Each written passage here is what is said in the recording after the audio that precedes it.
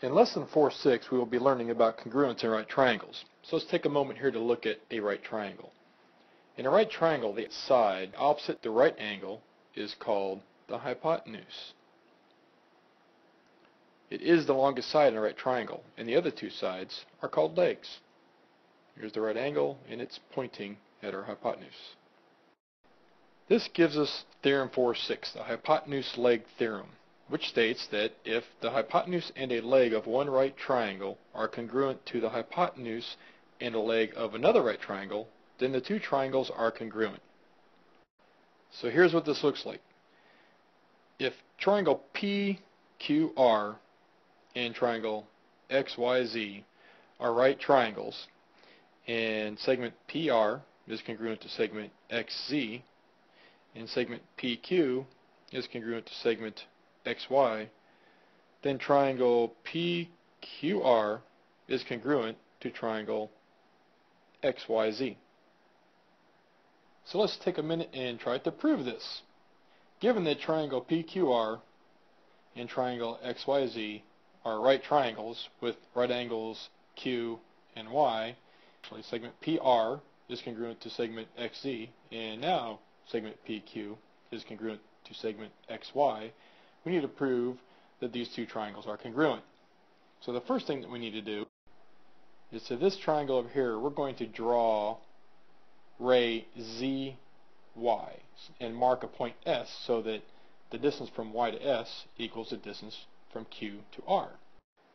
And that looks like this. So on triangle XYZ, we've drawn ray ZY. We've extended it out. And we've marked a point S so that the distance from Y to S equals the distance from Q to R. This makes triangle PQR congruent to triangle XYS by side angle side. And since corresponding parts of congruent triangles are also congruent, segment PR is congruent to segment XS. And since it's given that segment PR is congruent to segment XZ, then segment XS is congruent to segment XZ by the transitive property of congruence. And now by the isosceles triangle theorem, we can say that angle S is congruent to angle Z, so that we have triangle XYS congruent to triangle XYZ by angle, angle, side. And finally, we can say that triangle PQR is congruent to triangle XYZ by the transitive property of congruence.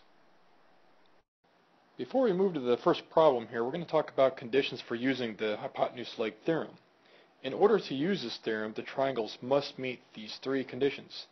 There must be two right triangles, the triangles must have congruent hypotenuses, and there must be one pair of congruent legs. So let's work the first problem. Okay, problem one, we're going to use the hypotenuse leg theorem. And this is another instance where my artistic ability is lacking, so I just took this diagram from the book. It's supposed to resemble a basketball backboard and hoop. So right here you'd have the basketball backboard, and then you'd have the hoop right here with the net. So we're going to take that stuff off there here in a second, and we're going to get to work. Okay, so the problem says that a basketball backboard brackets form the shape in the diagram, right over here. And that angle ADC and angle BDC are right angles. And that segment AC and segment BC are congruent. And as this are triangles ADC and triangle BDC congruent, and to explain. So the first thing that we're going to do is we are going to pull out the given information that angle ADC and angle BDC are right angles. Therefore, triangle ADC and triangle BDC are both right triangles. The hypotenuses of the two right triangles are segment AC and segment BC. And we're also given that those two segments are congruent.